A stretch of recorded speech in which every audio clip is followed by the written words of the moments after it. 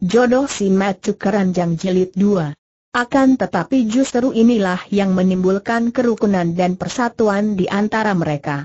Tiga orang tokoh Pek Lian Kau dan murid mereka ini datang jauh dari barat dan mereka membawa tugas yang diperintahkan pimpinan pusat Pek Lian Kau. Gerakan Pek Lian Kau selalu gagal di mana-mana, bukan saja karena kekuatan pemerintah, melainkan terutama sekali karena adanya para pendekar yang selalu menentangnya. Maka, tahulah para pimpinan pusat Lian kau bahwa selama mereka tidak dapat menguasai para pendekar, tidak dapat merajai dunia Kang Ou, akan sukarlah bagi mereka untuk mengalahkan pemerintah. Dan Pek Lian Sam KWI kini mendapat tugas yang amat berat dan sulit, yaitu berusaha dengan care apa pun untuk dapat menguasai dunia persilatan, menundukkan para pendekar dan para tokoh Kang Ou, baik golongan putih maupun golongan hitam. Para pucuk pimpinan Pek Lian Kau yakin akan kesanggupan dan kemampuan Pek Lian Sam Kwe yang merupakan tokoh-tokoh kelas satu dari Pek Lian Kau yang selain lihai ilmu silatnya dan kuat ilmu sihirnya, juga mereka memiliki seorang murid yang terkenal kecerdikannya, yaitu Subi Hwe yang berjuluk Tok Chiang Bimoli, yang dalam hal ilmu esilat, hanya sedikit di bawah tingkat guru-gurunya, dan biarpun ilmu sihirnya tidak sekuat Pek Klian Sam KWI, namun ia memiliki kecerdikan yang mengalahkan semua gurunya. Subi Hwa yang mengatur untuk menguasai dan meminjam nama Chin Ling Pai untuk mengacau dunia para pendekar dan menguasai mereka. Dan untuk melaksanakan siasat yang amat berbahaya itu, Diam-diam mereka memilih bukit itu yang tidak berapa jauh dari perkampungan Chin Ling Pai sebagai tempat persembunyian mereka. Di situ mereka membangun sebuah rumah yang tersembunyi dalam hutan, sebuah rumah yang lengkap dengan segala peralatan, bahkan yang mereka pasangi alat-alat rahasia. Mereka telah mulai dengan rencana mereka, yaitu dengan menyelidiki semua keadaan di Chin Ling Pai, para pemimpin mereka, kekuatan dan kelemahan mereka dan pada hari itu, mereka telah mulai turun tangan, membunuh dua orang murid Chin Ling Pai yang mereka kubur secara rahasia, dan menawan Chiok Gun. Mereka hendak menundukkan Chiok Gun dan menjadikan pembantu wakil ketua Chin Ling Pai itu sebagai boneka mereka. Demikianlah keadaan empat orang yang penuh rahasia itu. Tentu saja BHWA merasa mendongkol, kecewa dan marah sekali melihat betapa bujuk rayunya terhadap Chok Gun telah gagal. Biarpun dengan penggunaan obat bius dan obat perangsang dia telah dapat memaksa Chok Gun jatuh ke dalam pelukannya, namun bukan ini yang menjadi tujuannya.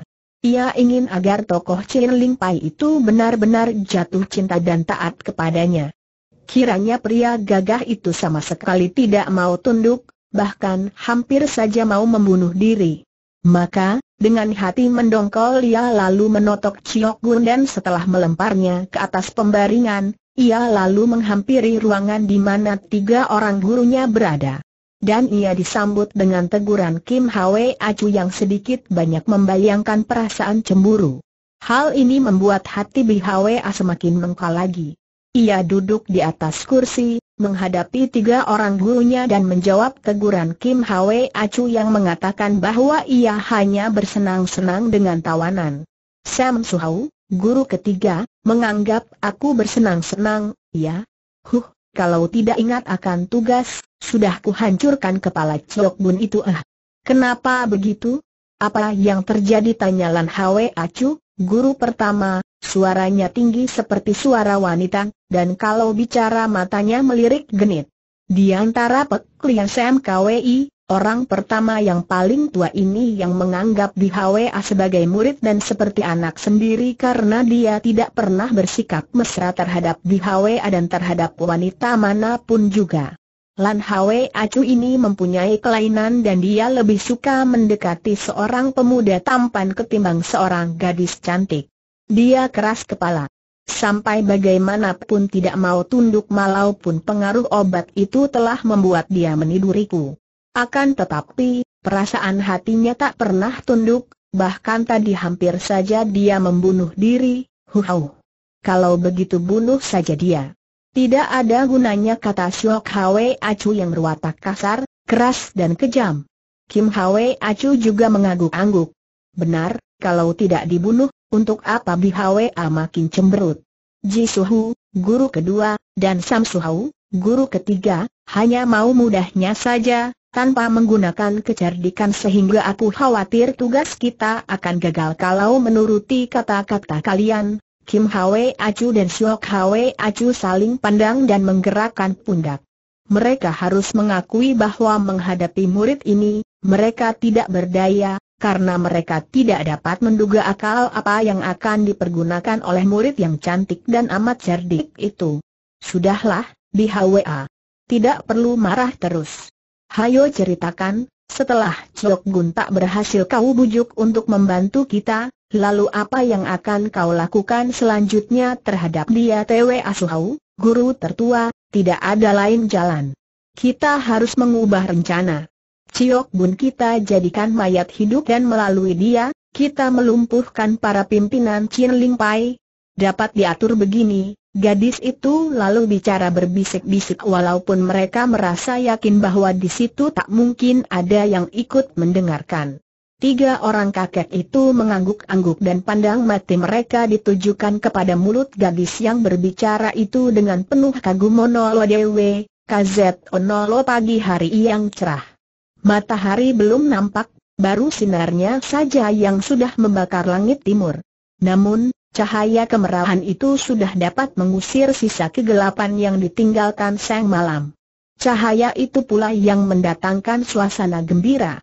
Setiap batang rumput, setiap helai daun, tenggelam dalam suasana gembira itu, berseri basah oleh embun bermandikan sinar keemasan bagaikan putri-putri jelita baru keluar dari dalam danau. Burung-burung juga berdendang senang, berkicau saling menyahut sambil menari berloncatan dari ranting ke ranting, siap untuk memenuhi tugas kehidupan mereka, yaitu mencari makan setiap hari. Di lereng yang sunyi dan segar indah berseri itu, nampak dua orang manusia yang berjalan-jalan dengan wajah yang ceria pula. Dua orang itu merupakan dua keadaan yang amat berlawanan, namun merupakan perpaduan yang membuktikan kekuasaan alam. Seorang kakek berusia 72 tahun dan seorang anak laki-laki berusia 5 tahun. Seorang manusia yang sudah tiba di ambang akhir perjalanan hidup, dan seorang manusia lain yang baru saja muncul dari ambang pertama dan sedang bertumbuh, menggambarkan awal dan akhir sebuah perjalanan hidup manusia yang hanya dibatasi oleh usia, oleh seng waktu yang melesat cepat tanpa terasa. Kakek itu akhirnya akan mati, dan anak itu pun akhirnya akan menjadi seperti kakek itu, siap untuk mati pula, mungkin kelak dia akan menggandeng tangan seorang cucunya seperti dia sekarang digandeng oleh kakeknya. Kakek itu biarpun usianya sudah 72 tahun, namun masih nampak gagah dan tubuhnya masih tegap. Wajahnya anggun dan mudah dilihat bahwa dia dahulu tentu seorang pria yang amat ganteng. Langkah juga masih gagah dan perutnya tidak menggendut seperti perut kebanyakan pria yang sudah berusia lanjut, juga tidak kurus kering melainkan tubuh itu masih padat. Dia adalah Chia Kong Liang, kakek yang dahulu pernah menjadi ketua Chen Ling Pai, kakek dari ketua yang sekarang, yaitu Nona Chia Kui Hong. Sudah belasan tahun kakek ini lebih banyak menghabiskan waktunya di dalam kamar untuk bersama di, atau berjalan-jalan di puncak-puncak bukit sunyi, merasa lebih akrab dengan alam daripada dengan manusia lain. Dan pada pagi hari itu, dia berjalan-jalan bersama cucunya, anak laki-laki berusia lima tahun yang bernama Chia Kuibu itu. Chia Kuibu adalah anak kedua dari Chia Hui Song pendekar Chin Ling Pai yang pernah menjadi ketua. Istrinya bernama Cheng Sui Chin, seorang wanita yang mempunyai kepandaian silat tinggi, tiada banyak selisihnya dengan tingkat kepandaian suaminya karena wanita ini adalah ah putri tunggal dari pendekar sadis Cheng Feng Sin majikan Pulau Teratai Merah dan istrinya Tuan Kim Hang yang pernah berjuluk Lem Sin, Malaikat Selatan, kini seorang nenek yang berusia 70 tahun yang kepandaiannya setingkat dengan suaminya. Akan tetapi, Cheng Sui Chin ini adalah ibu tiri dari Chia Kui Bu. Anak tunggal Cheng Sui Chin adalah Chia Kui Hang yang kini menjadi ketua Chen Ling Pai. Adapun Chia Kui Bu adalah putra Chia Hui Song dari seorang istri muda bernama Binio yang sudah meninggal, akan tetapi anak ini sejak kecil dirawat Cheng Sui Chin seperti anaknya sendiri sehingga dia pun menganggap bahwa ibunya adalah Cheng Sui Chin. Baru kemarin Chia Hui Song dan Cheng Sui Chin, bersama anak mereka itu, pulang dari perjalanan mereka ke Pulau Teratai Merah, berkunjung ke tempat kediaman orang tua Sui Chin. Mereka beristirahat di tempat itu sampai berbulan-bulan dan baru kemarin mereka kembali ke Ling Pai. Akan tetapi putri mereka yang menjadi ketua, Tia Kui Hong, belum pulang dari perantauannya. Tentu saja kedatangan mereka itu disambut gembira oleh semua anggota Ling Pai, terutama sekali kakek Tia Kong Li yang merasa girang bukan main melihat cucunya, Tia Kui Bu. Dan pada pagi hari itu, seperti telah dijanjikannya semalam kepada cucunya, kakek itu mengajak Cia Ibu berjalan-jalan. Cuaca masih gelap ketika tadi mereka meninggalkan perkampungan Chin Ling Pai. Setelah berbulan-bulan tinggal di Pulau Teratai Merah, setiap hari hanya menikmati keindahan pemandangan alam pulau yang dikepung air laut itu, Tentu saja kini keindahan alam di pegunungan merupakan keindahan yang lain sama sekali dan mendatangkan kegembiraan di hati anak itu. Dia berlari-lari mengejar-ngejar kelinci, meneriaki burung-burung dan kakeknya terbawa oleh kegembiraan cucunya. Kesenangan melalui panca indera dikemudikan oleh nafsu, oleh karena itu selalu berakhir dengan kebosanan dan dengan pengejaran akan kesenangan yang lain. Inilah sebabnya mengapa orang-orang kota merasa gembira kalau pergi ke dusun, sebaliknya orang dusun senang kalau pergi ke kota. Penduduk pantai tidak lagi menikmati keindahan pemandangan tepi laut dan merindukan keindahan akan pemandangan di pegunungan, sebaliknya penghuni gunung bosan akan pemandangan di pegunungan dan mengagumi keindahan pemandangan di tepi laut. Kong-kong, kakek, ada kijang di sana. Mari kita tangkap tiba-tiba Cia Kuibu berlari cepat mendaki lereng sebuah bukit. Hei, i, Kuibu, hati-hati jangan lari sembarangan kakek itu berseru dan mengejar. Dia dapat menyusul dan menggandeng tangan cucunya dan mereka berlarian mengejar seekor kijang muda yang seperti hewan lainnya kalau masih muda suka bermain-main. Kijang itu seolah mengajak mereka bermain, berlari-lari sambil berloncatan kecil, kalau jarak antara mereka terlalu jauh, ia berhenti dan seperti menanti, kalau sudah dekat ia lari lagi. Cia Kong Liang membiarkan cucunya bergembira dan mengejar kijang itu. Dia hanya menjaga agar cucunya jangan sampai terjatuh ke dalam jurang.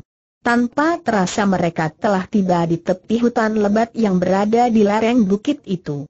Kijang itu melompat ke dalam hutan dan lenyap di balik semak belukar. Ketika Chia Kui Bu yang digandeng kakeknya hendak mengejar, tiba-tiba dari dalam hutan itu muncul seorang laki-laki yang berdiri seperti patung dan memandang kepada mereka. Chia Kong Liang berhenti dan memandang. Hai, Chiok Gun. Kenapa engkau belum pulang? Semua orang di sana menantimu. Sejak kemarin pagi engkau pergi berburu dan sampai sekarang belum pulang di mana Teng Sin dan KOOHM Chok Bun nampak ragu-ragu sejenak, lalu memberi hormat kepada kakek itu. Sukong, Sute Teng Sin dan KOOHM baik-baik saja. Nanti Teocu, murid, akan pulang, Tia Kong Liang memandang dengan heran. Memang Chok Gun tidak pandai bicara, malu-malu walaupun dia amat setia kepada Chin Ling Pai, akan tetapi mengapa pagi ini sikapnya kelihatan demikian dingin dan bahkan kaku? Sebelum dia bertanya, Kui Bu sudah berlari ke arah Ciok Kun. Su Heng serunya gembira. Karena berbulan-bulan meninggalkan Chin Ling Pai, setelah pulang Kui Bu bersikap ramah kepada semua orang, sebagai pelepasan rindunya.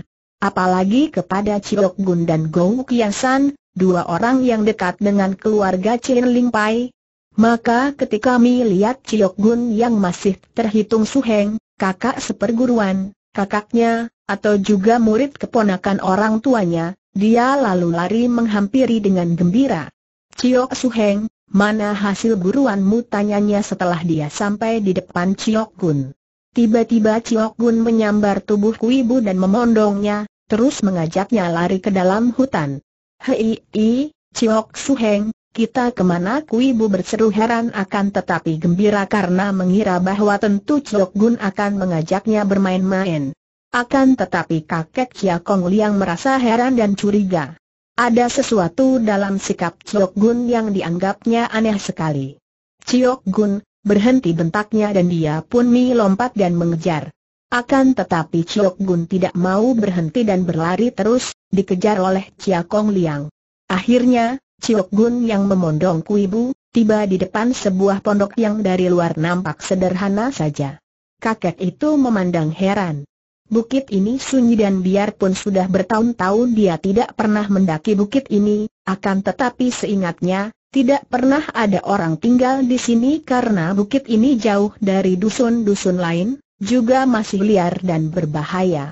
Ketika dia hendak mengejar masuk pondok melalui pintunya yang terbuka lebar, tiba-tiba muncul tiga orang pria berpakaian pendeta dan seorang wanita muda yang cantik. Wanita itu berada paling depan dan agaknya sengaja menyambut sambil tersenyum-senyum. Selamat datang di pondok kamu, Lo Chian Pwe Chia Kong Liang kata Subi Hwa sambil tersenyum manis sekali. Kakek itu mengerutkan alisnya. Dia tidak mengenal empat orang ini, akan tetapi karena wanita muda itu menyambutnya dengan sukap hormat, dia pun membalas penghormatannya dan berkata, Siapakah Nona, dan harap Nona menyuruh Chok Bun keluar mengajak cucuku, Cilo Cian PWE, sekarang Lo Cian PWE telah menjadi tamu kami, seperti juga anak Cia Ibu itu. Mari, Lo Cian PWE, silakan masuk dan kita bicara di dalam, Biarpun sudah amat tua, namun kakek Chia Kong Liang masih waspada dan pengalamannya yang banyak membuat dia maklum bahwa dia berhadapan dengan orang-orang yang tidak boleh dipercaya begitu saja. Harap suruh Ciok Bun keluar membawa cucuku dulu, baru kita bicara lalu dia mengerahkan KHI Kang, suaranya menggetar ketika dia ke arah pondok itu. Ciok Gun, aku sukongmu yang bicara ini. Kuperintahkan engkau keluar mengajak kuibu bukan main hebatnya suara itu, melengking dan seperti menggetarkan jantung semua orang. Diam-diam empat orang itu terkejut dan harus mereka akui bahwa kakek yang sudah tua ini tidak boleh dipandang ringan. Subi Hawel lalu berteriak pula ke arah pintu pondok. Ciok Gun, engkau tinggal saja di dalam dan jaga baik-baik Cia Kuibu. Engkau tidak boleh keluar sebelum ku perintahkan. Ini aku Susio Chia, Nona yang bicara dari dalam pondok terdengar suara Ciok Gun, baik, Susio Chia kakek itu terbelalak. Tidak mungkin cucu muridnya itu begitu saja mentaati wanita ini dan berani membangkang terhadap perintahnya. Tentu ada sesuatu yang tidak wajar. Nona, apa artinya ini? Apa yang kau lakukan kepada Ciok Gun kini gadis itu tertawa dan begitu tertawa kakek itu pun mengerti bahwa dia berhadapan dengan seorang wanita yang kejam dan amat jahat. Hahaha hai hai Cia Lo Cian PWE, tidak perlu engkau mencoba untuk memerintah Ciok Gun. Dia sekarang telah menjadi hambaku yang setia, akan kuambil sendiri cucuku kalau begitu Cia Kong Liang meloncat ke arah pintu, akan tetapi nampak bayangan berkelebat dan wanita itu telah menghadang di depan pintu. Nona, minggir. Aku tidak ingin bermusuhan dengan siapa pun juga. Aku hanya ingin mengambil kembali cucuku bentak Chia Kong Liang, kini es ikapnya angkuh dan tegas, penuh wibawa. Lo Cian PWE, ini rumah kami dan tanpa seizin kami, engkau atau siapa pun tidak boleh memasukinya kata gadis itu sambil tetap tersenyum. Wajah Chia Kong Liang berubah merah. Dia sudah marah sekali. Nona, apakah kau hendak mengatakan bahwa engkau telah menculik cucuku dan hendak menahannya di dalam poncokmu ini boleh saja kau anggap demikian, Chia Kong Liang, kata Bihwe dan kini ia menanggalkan kedoknya, tidak lagi bersikap hormat. Hem, tidak semestinya aku seorang tua berkelahi melawan seorang muda apalagi seorang gadis. Sekali lagi, Ku minta engkau membebaskan cucuku dan aku tidak akan menggunakan kekerasan BHWA tertawa. Hahaha, justru kami ingin melihat engkau mengeluarkan semua kepandaianmu untuk melawanku, Tia Kong Liang keparat kakek itu sudah lama sekali tidak pernah berkelahi, Akan tetapi untuk menjaga kesehatan, hampir setiap hari dia masih berlatih. Dia sudah dapat menjadi seorang yang penyabar sekali. Andai kata tidak untuk membebaskan cucunya, tentu dia akan mengalah dan akan pergi menelan semua penghinaan orang. Akan tetapi sekali ini tidak mungkin dia tinggal diam. Cucunya disekap di dalam pondok itu. Dia pun menggerakkan kaki hendak memasuki pintu pondok. Subi Hwa menghalang dan kakek itu menggerakkan tangan mendorong wanita itu ke samping. Karena ia menduga bahwa wanita itu tentu liai, dia mengerahkan tenaga Tian Tesin Ciang ketika mendorong. Plak gadis itu menangkis sambil mengerahkan tenaga pula dan akibatnya, keduanya terdorong ke belakang masing-masing tiga langkah. Gadis itu tersenyum, tidak terkejut karena ia sudah tahu sebelumnya bahwa kakek ini memiliki ilmu-ilmu Chin Ling Pai, maka tentu saja amat tangguh. Sebaliknya, Tia Kong Liang terkejut bukan main. Gadis yang usianya paling banyak 25 tahun itu sanggup menangkis dorongannya dan membuat dia terdorong mundur tiga langkah. Bagus, kiranya engkau penjahat yang mengandalkan kepandaianmu. Nah, Terpaksa aku akan menyerangmu untuk menolong cucuku setelah berkata demikian Chia Kong Liang mulai menyerang dan memainkan ilmu silat Im Yang Sin Kun sambil mengerahkan tenaga Sin Kangnya. Tangannya yang kiri menyambar dengan tamparan ke arah pelipis kepala, tangan kanan memukul ke arah perut. Hakiit Bihwe cepat meloncat ke kiri sambil menangkis pukulan itu dan membalas dengan tendangan kilat yang dapat pula ditangkis oleh Chia Kong Liang. Kakek itu kini melihat jelas betapa lihainya lawannya walaupun seorang wanita yang masih muda. Maka dia lalu memainkan Im Yang Sin Kun dengan sebaiknya untuk mendesak BHWA. Sampai lima jurus BHWA terdesak oleh ilmu yang tangguh itu, dan ia mengandalkan kegesitan gerakan tubuhnya untuk menghindar dengan loncatan-loncatan. Lihat, suhu. Bukankah ini yang dinamakan Im Yang Singkun sambil meloncat untuk menghindarkan tonjokan ke arah dada, Di Hwa berseru. Benar, Di Hwa, itulah Im Yang Singkun, dimainkan cukup baik, sayang sudah kekurangan tenaga, kata Kim Hwa Chu. Mendengar ini, Tia Kong Liang terkejut. Kalau gadis ini hanya murid, maka guru-gurunya itu tentu lebih lihai lagi dan agaknya mereka telah mengenal Im Yang Sin Kun. Orang-orang macam apakah mereka ini? Dia cepat mengubah gerakan kaki tangannya dan dia memainkan Tian Te Sim Chiang yang telah dikuasainya dengan baik wah. Tian Te Sim Chiang agaknya kembali BHWA berseru dan sambil mengelak terus. Ia bukannya mengalah, melainkan benar-benar terdesak oleh ilmu silat Chin Ling Pai yang memang amat hebat itu. Andai kata Chia Kong Li yang tidak setua itu, masih memiliki tenaga kuat dan gerakan cepat, tentu Bihwe takkan mampu menandinginya. Kini, tenaga kakek itu sudah banyak berkurang, dan gerakannya pun tidak secepat dulu lagi maka biarpun Bihwe terdesak, tetap saja wanita itu mampu menghindarkan diri dengan gerakan cepat dan lincah. Karena mainkan Tian Te Sin Chiang membutuhkan pengerahan banyak tenaga, maka setelah beberapa jurus tidak berhasil, Tia Kong Liang mengubah lagi gerakannya. Kini dia memainkan San In Kun Huat. Hem, ini San In Kun Huat dimainkan oleh seorang ahli Shok Hwa memuji. Mereka diam-diam mengagumi ilmu-ilmu silat Chin Ling Pai. Memang dalam tugas mereka, seperti telah direncanakan oleh gagasan BHWA yang cerdik, selain menguasai Chin Ling Pai dan ilmu-ilmunya, mereka ingin sekali mendapatkan dua buah pusaka Chin Ling Pai. Yang pertama adalah pedang pusaka berupa pedang yang pernah menggemparkan dunia persilatan puluhan tahun yang lalu, yaitu pedang Siang Bok Kiam, pedang kayu harum, milik pendekar sakti Chia Keng Hong. Adapun yang kedua adalah pusaka berupa ilmu yang pernah membuat seluruh tokoh dunia persilatan gempar.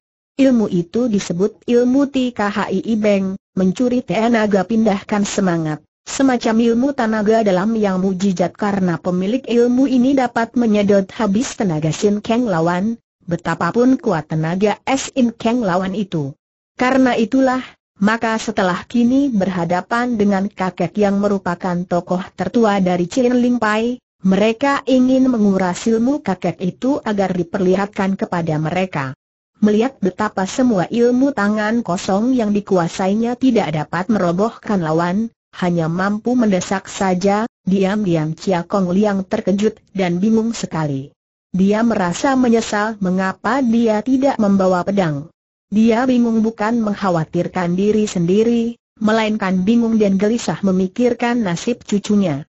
Ketika perkelahian membawa mereka ke bawah sebatang pohon, tiba-tiba Chia Kong Liang meloncat ke atas dan ketika dan ketika dia turun kembali, tangannya telah mematahkan sebatang dahan sebesar lengannya.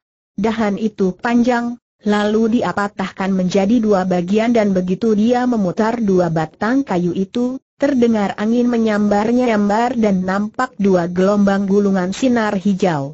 Melihat ini, Di Hwa cepat meloncat menjauhi dan berkata kepada tiga orang gurunya, Suhu, ini tentu Siang Liong Pang, tongkat sepasang naga. Cepat suhu hadapi aku sudah lelah dan tongkatnya itu berbahaya sekali kini Kim Hwa Acu yang meloncat ke depan dan begitu kedua tangannya bergerak, dia telah mencabut Siang Kiam, sepasang pedang, dari punggungnya. Dia menggerakkan sepasang pedang itu dan nampaklah gulungan sinar terang seperti dua gulungan api.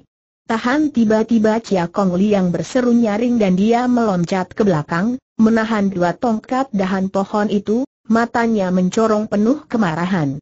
Kim Hwe Acu menahan pedangnya dan berdiri menghadapinya dengan senyum simpul. Chia Kong Liang, lebih baik engkau menyerah dengan baik. Kami hanya ingin bertanya kepadamu dan mengharapkan engkau suka menjawab dengan terus terang, hem, melihat pakaianmu, agaknya engkau ini seorang pendeta, seorang tosu. Kalau benar demikian, apa artinya semua ini, Tu Tiang?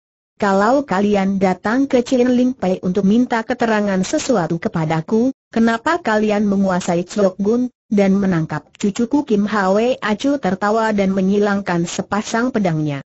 Orang tua, urusan kami Daik perlu engkau mengetahui.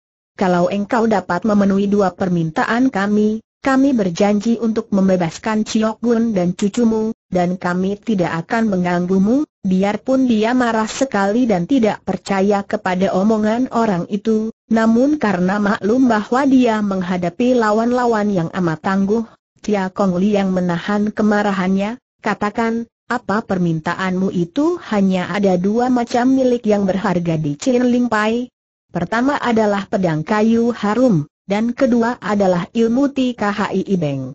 Nah, kami minta pedang pusaka itu dan rahasia ilmu THI Ibeng jawab Kim Hwe Acu. Wajah kakek itu sampai menjadi pucar saking kaget dan marahnya.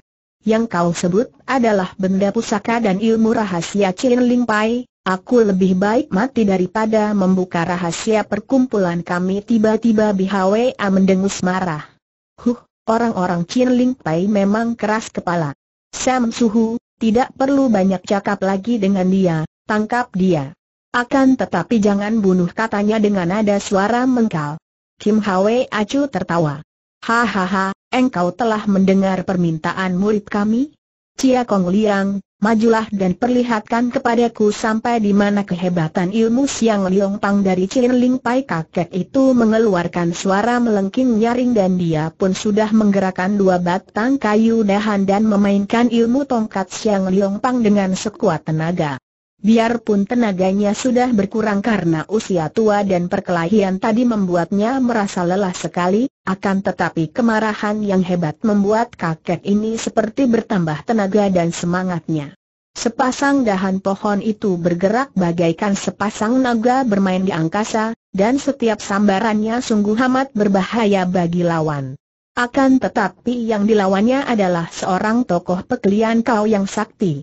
Sepasang pedang di tangan Kim Hwe Acu itu dapat membendung gelombang serangan sepasang tongkat. Bahkan Kim Hwe Acu tidak membalas dengan serangan maut, melainkan hanya mengelak dan menangkis saja karena dia ingin memperhatikan permainan ilmu tongkat itu. Bagus. Memang hebat Siang Liong Pang dari Chin Ling Pai beberapa kali dia memuji. Sudahlah, Sam Suhu. Robohkan dia dan jangan main-main lagi. Pancaing agar dia mengeluarkan tika HII Bank terdengar di HWA berseru dan Kim HWA Chu teringat akan kewajibannya. Dua kali pedang pasangan di tangannya bergerak, terdengar suara keras dan sepasang tongkat dahan pohon yang masih basah itu terbabat buntung. Sambil tertawa dia menyimpan sepasang pedangnya dan menyerang Chia Kong Liang dengan tangan kosong. Tokoh tua Chin Ling Pai itu terkejut. Dia membuang sisa dahan di tangannya dengan penuh kenekatan. Akan tetapi, tadi pun ketika melawan di HWA dia sudah tidak mampu menandinginya, apalagi kini guru gadis itu yang maju. Dari pertemuan tenaga pun dia maklum bahwa dia kalah kuat, dan kini nafasnya mulai terengah-engah. Duk pundak kiri Chia Kong Liang kena ditampar oleh Kim Hwe Acu dan kakek itu pun terhuyung ke belakang, pundaknya terasa nyeri sekali. Akan tetapi dia tidak mengelauarkan keluhan, lalu menyerang lagi dengan nekat bagaikan singa terluka. Mereka saling pukul dan tangkis sampai belasan jurus, akan tetapi makin lama kakek Chen Ling Pai itu semakin terdesak. Plak kembali Chia Kong Liang terkena pukulan tamparan pada punggungnya, cukup keras sehingga dia terpelanting. Akan tetapi dia bangkit kembali. Sebuah tendangan membuat dia terjengkang kembali sebelum bangkit berdiri. Akan tetapi tanpa mengeluh kakek itu mengusap darah dari bibirnya dan pandang matanya mencorong penuh kemarahan. Tiba-tiba dua buah tangan yang halus namun kuat sekali mencengkeram kedua pundaknya dari belakang. Bukan main nyeri rasa kedua pundak itu, membuat kedua lengannya lumpuh dan rasa nyeri menusuk-nusuk sampai ke jantung.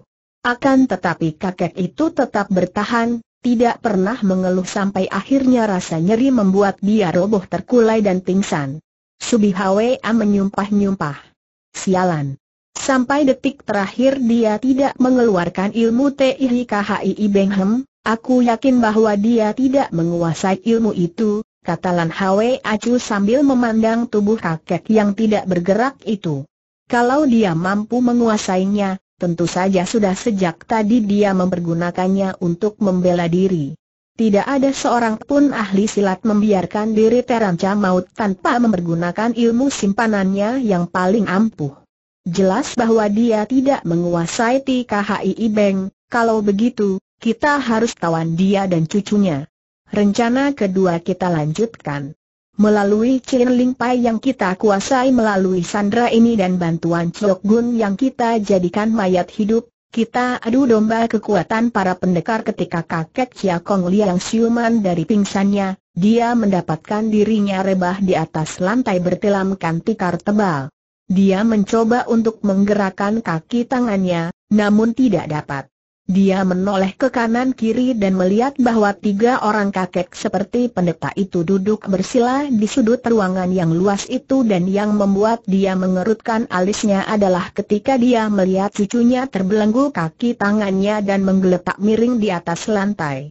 Ada pula Cik Gun berdiri seperti patung dan wanita cantik itu duduk di atas bangku dan tangannya memegang sebatang cambuk hitam.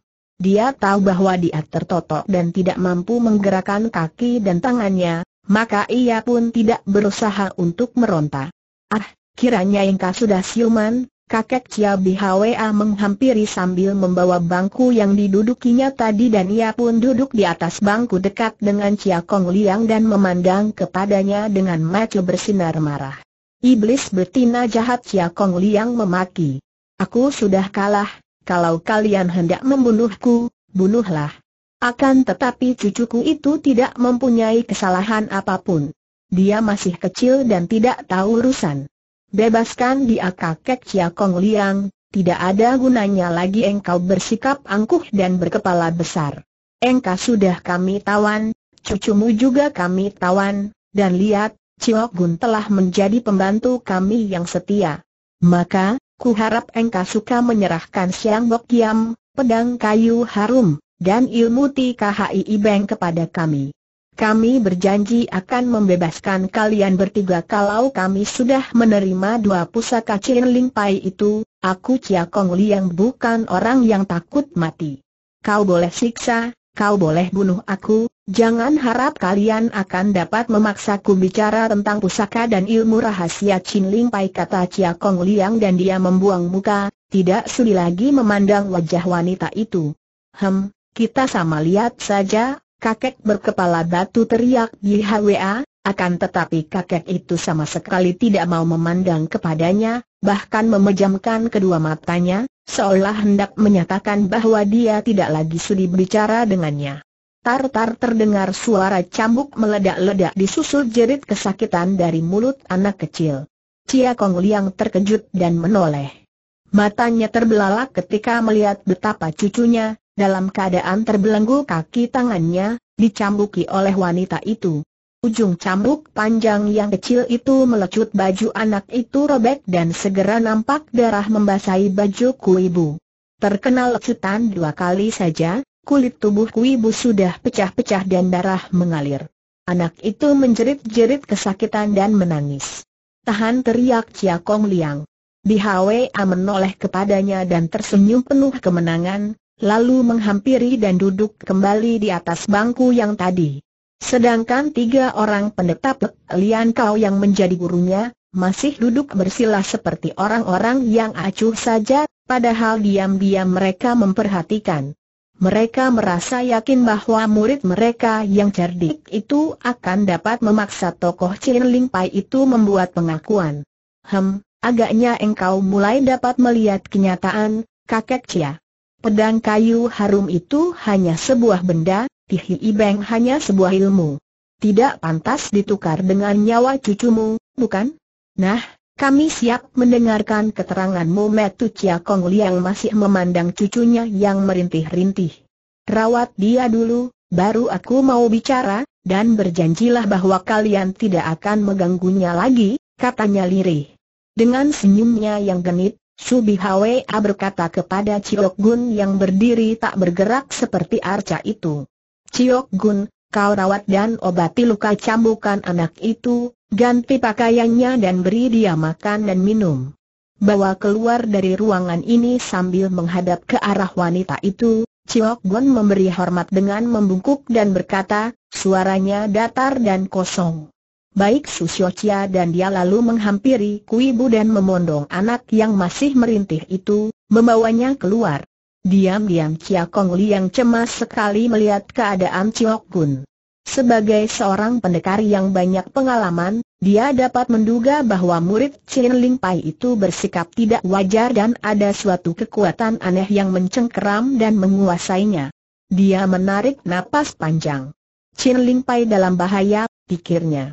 Akan tetapi kalau mengingat bahwa titik putranya, Tia Hui Song, dan mantunya, Cheng Sui Chin, berada di Chin Ling Pai, hatinya menjadi tenang puteranya dan mantunya yang memiliki kepandaian tinggi tentu tidak akan tinggal diam, tentu mereka akan mencari putra mereka dan menemukannya di sini. Empat orang jahat ini tentu akan dapat dibasmi oleh Chin Ling Pai di bawah pimpinan putra dan mantunya.